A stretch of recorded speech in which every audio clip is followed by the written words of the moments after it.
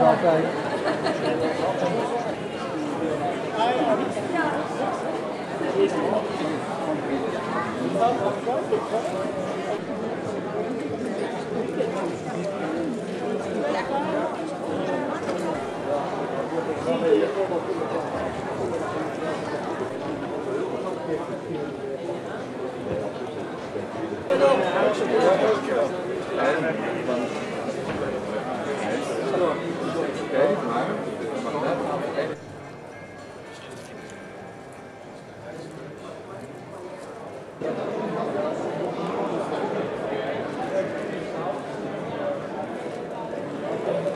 Maar kan Britta de vertelling ook nog Mario door de auto's.